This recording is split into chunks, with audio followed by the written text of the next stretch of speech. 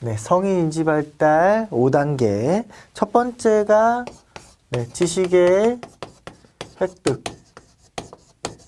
네, 요것은 이제 지식의 획득은 피아제가 이야기했던 네, 구체적 조작기, 그죠? 구체적 조작기, 형식적 조작기까지 이 기본적인 인지 구조 발달, 기본 인지 구조 발달. 이것은 이제 네, 감전 구형, 감전 구형의 피아제가 이야기하는 네, 인지 발달이 아, 지식의 획득의 단계에 되겠죠. 두 번째가 성취. 네, 성취 단계다. 성취 단계에서는 30대까지 성인 전기다 이렇게 이야기하고 있고요. 성인 전기. 그래서 성취의 단계다. 성취의 단계. 직업 선택, 그 다음에 가정의 설계, 생애에 중요한 의미를 갖는 실제적 문제를 해결하는 그런 단계이다. 관련된 맥락을 고려할 수 있어야 하고 독자적인 의사결정을 할 수 있는 네, 성취 단계. 세 번째가 네, 성취 단계 이후에 아, 중년기에 해당하는 단계가 되겠죠. 책임의 단계. 네, 여기가 이제 중년기의 단계가 되겠죠. 중년기. 그래서 책임의 단계에서는 뭐 배우자, 자녀, 동료, 지역사회에 대한 책임을 가지고 과업에 관여하고 의사결정하고 그다음에 자신의 사고 판단 의사결정에 책임을 지는 그런 단계다. 네 번째가 네, 책임의 단계 이후에 네, 실행 단계다. 실행 단계. 네, 실행 단계. 아, 성인 중, 중년기 이후가 되겠죠. 노년기와 중년기 사이에 기관의 장, 지도자, 그 다음에 지적 기능을 어떻게 활용하느냐. 아, 그래서 보다 복잡하고 조직적인 위계, 그 다음에 책임을 갖는 문제 해결. 여기도 이제 역시 이제 중년기에 해당하게 되겠습니다.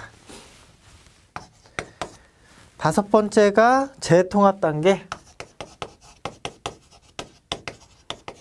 재통합 단계. 그래서 여기가 노년기에 해당하는 노년기에 해당하는 단계이고 어, 사회적 책임의 감소, 그 다음에 개인적 흥미, 가치에 적합한 문제 및 과제의 선택. 그래서 이렇게 다섯 단계이고 여기까지는 이제 우리가 피아제 이론에서 배웠던 내용이고 여기가 이제 추가가 된 내용이다 이렇게 볼 수 있겠죠. 그래서 성취와 책임, 실행과 재통합. 그래서 어, 성취, 책임, 실행, 재통합 뭐 이런 식으로 아, 그 앞글자를 따서서 외울 수가 있겠죠. 그래서 아, 이 5단계에서 첫 번째 단계는 네, 우리 어, 피아제가 이야기한 내용들이고 그 이후에 성취 책임 실행 재통합이라고 하는 아, 단계들을 추가했다. 이렇게 이해하실 수가 있겠습니다. 성인의 인지 발달인데요. 이러한 인지 발달 이론들이 이후에 이렇게 나오, 나왔음에도 불구하고 이것들이 그렇게 크게 주목을 받지 못하는 이유들은 아, 성격의 발달이라는 어떤 그런 측면에서 보일 수도 있기 때문에 그런 부분들이죠. 그래서 인지구조의 발달, 그 다음에 성인의 인지구조, 그리고 성격의 발달 이런 것들이 조금 약간 중첩되는 부분들이 있다라는 거 이해하실 수가 있겠고 샤이에가 아, 그 피아제 이후에 추가적인 내용을 첨가했다 이렇게 정리하시면 되겠습니다. 두 번째 리겔의 변증법적 추론 모형이 있는데요. 리겔. 리겔도 이제 피아제 이후에 어떤 인지 발달에 대한 내용들을 추가했는데 아, 변증법적 추론 모형이다. 이렇게 얘기했다는 거죠. 리겔의 변증법적 추론 모형이다. 네, 변증법이다. 변증법. 변증법적 추론. 이게 무엇인가? 형식적 조작, 조작기에 도달해서 인지 발달이 완성된다는 피아제 주장에서 반론을 제기한 것이죠. 성인기 특유의 사고인 변증법적 추론을 주장했고 이 변증법적 추론이라는 게 이제 특징이다라는 것이죠. 청소년기와 다르다라는 것입니다. 그래서 다양한 상황과 대상물 또는 사람의 내지 않은 모순을 인식하는 것이다. 아, 그리고 자신이 속한 종교 관점, 문제와 한계점을 인식하고 모순을 깨달을 줄 아는 그런 사고가 변증법적 추론이다. 그래서 변증법적 추론이 모순을 네, 깨닫는 사고 이것이 이제 변증법적 추론이다. 밑에 이제 피아제와 리겔의 비교가 있습니다. 그래서 어, 피아제는 개인과 문제 상황 간의 안정된 균형을 지향하는 인지 구조를 발, 인지구조 발달을 전제로 했고 리겔은 문제 상황과 그 해결 양상이 내포하고 있는 불안전성과 불안정성과 애매성을 강조했다. 그래서 불안정성, 애매성, 애매성 이것들을 강조했다. 그래서 이런 문제 해결의 과정들을 어떤 갈등의 요소로 어, 초점을 맞춰서 봤다는 것이죠. 갈등과 변화를 네, 변화를 중심으로 아, 이 인지 구조의 발달, 인지 발달을 이렇게 보았다라는 것이고, 그래서 이 리겔의 변증법적 추론이라는 것은 형식적 조작기 이후에 어떤 그 독립적인 성인 발달이라기보다는 피아제가 간과했던 어떤 인지 발달의 보완적인 측면으로 이해될 것이다. 피아제 인지 발달 이론의 보완적 보완적인 측면으로 네, 이해될 수가 있겠다. 그래서 이 변증법적 추론이라는 것도 인지 발달의 어느 하나의 형태일 것이다 라는 것이고 이 리겔이 얘기하는 것은 이러한 불안정성과 애매성 그리고 갈등과 변화를 중심으로 인지 발달을 이해했다라는 거 정리하시면 되겠습니다. 3번에 이제 아를린의 문제 발견적 사고가 있는데요. 아를린이라는 학자가 또 이야기를 한 겁니다. 그래서 피아제의 정, 어, 형식적 주작 사고는 문제 해결에 국한이 되지만은 성인기 인지 발달은 문제 발견이라는 게 주가 된다라고 얘기를 했다는 것이죠. 네, 아를린이라는 이제 학자가 아를린이라는 학자가 문제 발견적 사고라는 것을 문제 발견적 사고 사고라는 것을 이야기했다. 이 문제 발견적 사고 문제 발견적 사고 그래서 피아제의 형식적 조작 사고는 문제 해결 문제 해결에 국한되지만은 성인기 인지 발달 그러니까 우리가 청년 청소년기를 지나서 성인기 인지 발달은 문제 발견이 주가 된다 중심이다 그래서 피아제의 형식적 조작기 다음에 문제 발견의 단계가 있다 라고 주장을 했다는 것이죠. 성인기 인지 발달이 문제 발견 단계가 있다. 단계가 있다라고 얘기를 하는 것이죠. 그래서 문제 발견의 단계에서는 뭐 창의적인 사고라든지 확산적인 사고, 어, 문제 해결 방법의 대안적인 사고 이런 것들이 이제 문제 발견의 단계다. 이런 문제 발견의 단계에서 이루어지는 것이 네, 창의적 사고, 그다음에 대안적 사고 또는 확산적인 사고 사고에 해당한다. 그래서 청소년기와 성년기는 다르다. 이것들을 이제 주장했다는 것이죠. 사례에 보시면 현재 직장에 남을까 새 직장으로 옮길까 이러한 두 가능성에서 선택하고 거기에 이제 발생 가능한 문제들을 탐색하고 이러한 사고들이 문제 발견적 사고다. 그래서 아를린이 이야기한 아, 내용까지 좀 살펴보았습니다. 그래서 삐아제가 이야기했던 어, 인지발달 그 이론에서 한 단계 더 나아가서 성인의 인지 발달 그리고 뭐 변증법적 추론과 같은 새로운 어떤 관점의 인지 발달 어, 내용들도 살펴볼 수가 있었습니다. 다음에 이제 사회성과 정서 발달인데요. 이제 우리가 여기까지 인지 발달이라는 부분에 있어서 뭐 피아제와 뭐 비코츠키 그리고 어, 샤이에나 리겔, 그 다음에 아를린과 같은 이제 학자들이 주장한 내용들을 살펴봤는데요.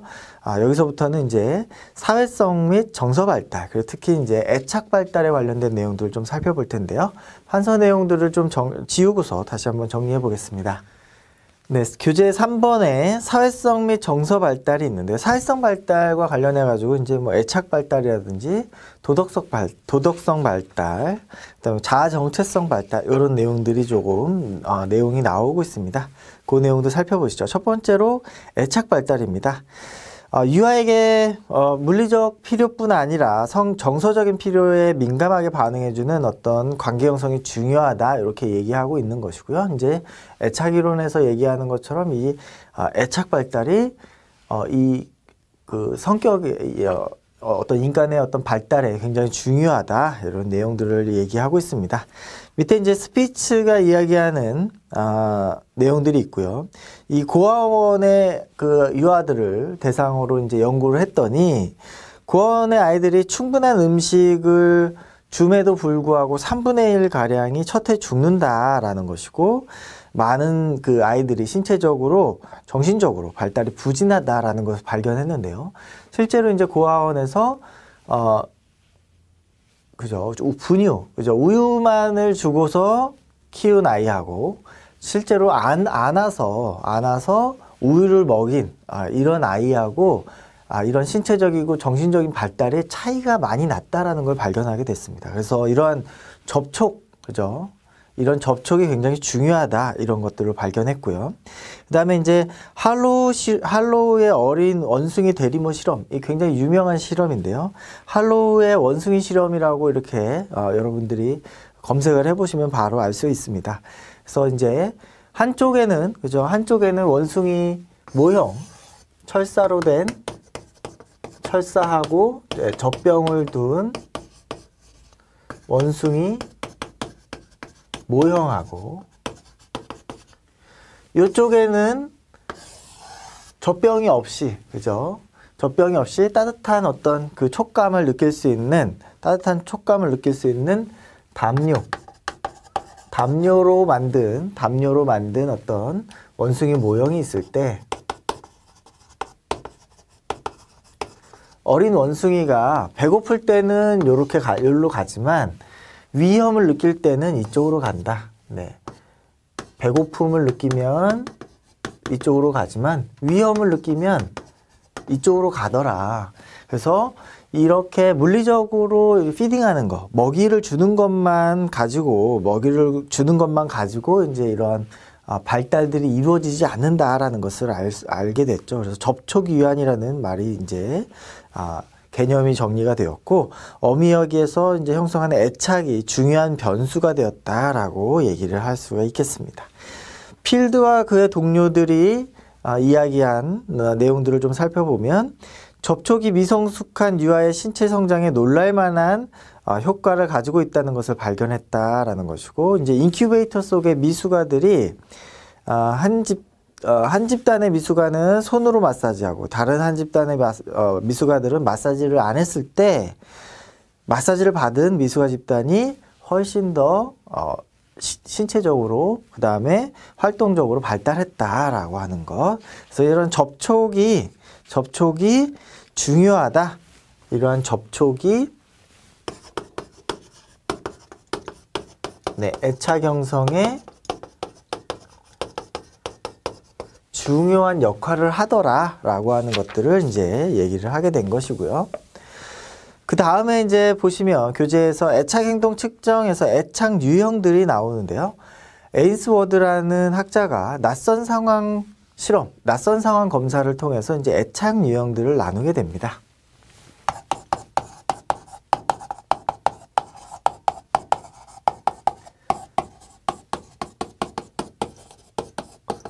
에인스워드라는 학자가 이제 애착 유형들을 나누게 됐는데요.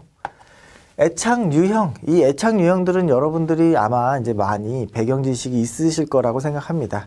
그래서 낯선 상황에서 유아가 어떤 방식으로 어, 행동을 보이는가 그런 양식을 좀 본 것이죠. 그렇게 해서 어, 유형들을 분류했는데 건강한 애착, 그죠? 안정 애착이 있겠고요. 그리고 건강하지 못한 애착이 이제 불안정 애착이다. 불안정 애착이 있겠죠. 이 불안정 애착에는 불안정 회피 애착이 있고 불안정 회피 애착이 있고 그 다음에 불안정 불안정 저항 애착이 있다. 그 아이들의 이제 반응이 이렇게 달라진다는 것이죠. 그리고 아, 혼란 애착이 있다. 그래서 이런 방식으로 이제 애착이 총 네 가지로 구별을 했다라는 것이고 이제 안정 애착의 아이들은 어떻게 반응하는가 교재 보시면 엄마가 같이 있을 때는 활달하게 놀았는데 적극적으로 탐색도 하고 없거나 낯선 사람이 있을 때는 약간 놀라고 탐색하는 행동이 줄었지만 다시 왔을 때는 아, 이전과 같은 회복을 보이는 것이죠. 그래서 어, 적극적인 탐색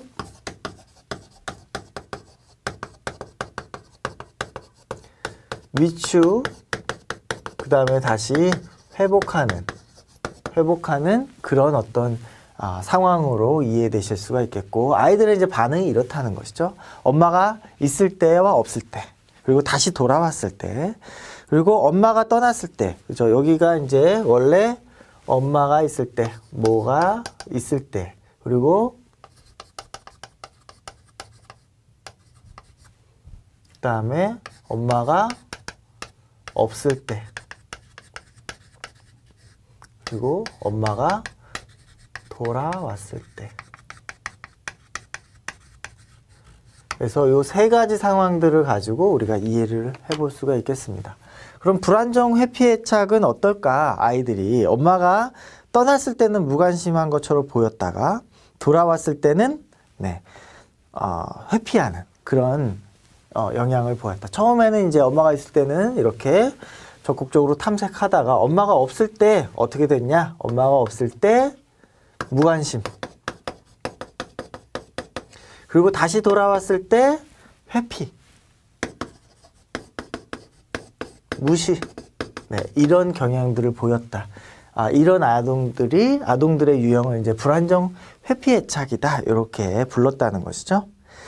그 다음에 엄마가 아, 떠났을 때, 엄마가 떠났을 때 네, 굉장히 불안해했다가 네, 분리불안이 굉장히 심했다가 다시 돌아왔을 때 화를 많이 내는 것이죠. 분노하는 그런 유형들을 불안정 저항애착이다.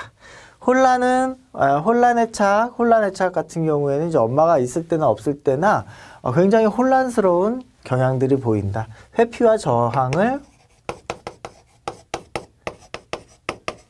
회피와 저항의 어떤 양상들이 아, 무작위적으로 나타나는 그런 애착이 되겠죠. 그래서 긴장도 많이 하고 무관심했다가 화도 많이 냈다가 그래서 먼 곳을 쳐다보기도 하고 이럴 때 이제 혼란 애착이다라고 이제 유형을 분류했다라는 것입니다. 그래서 요 가지 이렇게 이제 네 가지의 아, 애착 유형으로 분류했다. 그래서 이 애착 유형 네 가지는 여러분들이 좀 기억을 해 두시면 되겠습니다. 밑에 어, 로렌츠가 이야기하는 각인 이론이 있는데요. 각인 이론.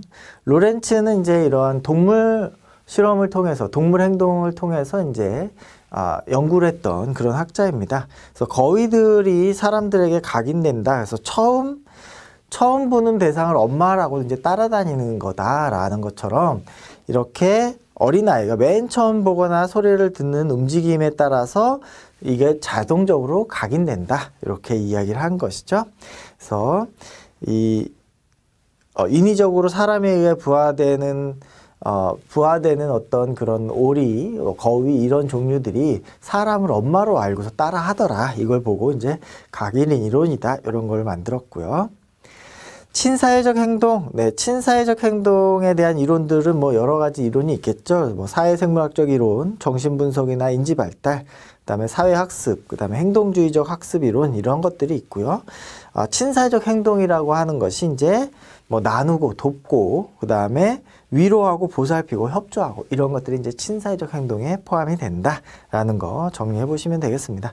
교재 보시면서 이제 로렌, 츠가 각일 이론을 만들었다. 이렇게 아, 요 정도로만 정리를 해 보시면 되겠고 친사회적 행동에는 뭐 나누고 돕고 그 다음에 위로하고 보살피고 협조하고 이런 내용들이 포함된다.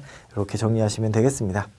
밑에 이제 보울비가 이야기하는 아, 관계의 내적 작용 아, 작동 모델인데요. 이것은 이제 애착 이론에서 가장 아, 중심이 되는 이론이다. 이렇게 이야기할 수가 있겠고 관계의 내적 작동 모델이라는 게 무엇인가라는 거 개념을 좀 한번 저- 정리해 보시면 되겠습니다. 발달하는 아이는 상호작용 경험에 대한 반복적인 유형을 기초로 해서 자신과 타인에 대한 일련의 모델을 쌓는데 이러한 기본적인 가정들, 일반화된 상호작용의 표상들, 역할관계 모델과 자기 타인 도식이 아동이 예측하고 세계와 연관시키기 위해 사용하는 비교적인 고정된 표상적 모델을 형성한다. 이렇게 되어 있죠. 이것이 내적 작동 모델이다. 그러니까 어떤 관계 속에서 가는 자기와 어떤 환경과의 어떤 그 이미지, 심상이, 표상들이 어, 고정된 어떤 그 내적 작동 모델을 형성한다라는 것이고 안정된 애- 애착은 반응 잘하고 애, 애정이 깊고 신뢰할 만하고 보호자 및 사랑받 아, 보호자 그리고 사랑받고 주목받을 가치가 있는 자신에 대한 내적 작동 모델을 저장하고 있다. 그러니까 건강한 건강한 상호작용 모델을 안에 갖고 있다라는 것이고요. 그다음에 불안정 애착 아동은 위험한 장소 그래서 다른 사람들을 매우 주의 있게 다루, 다루어야 하는 곳으로 간주한다. 이 세상이 위협적으로 어, 여겨지는 그런 내적 작동 모형을 갖고 있을 것이다. 모델